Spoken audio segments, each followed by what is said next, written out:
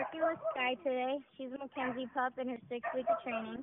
She's very sweet and she's really soft and loves to be pet all the time. Show you some of what she can do. Skye, here. Sit.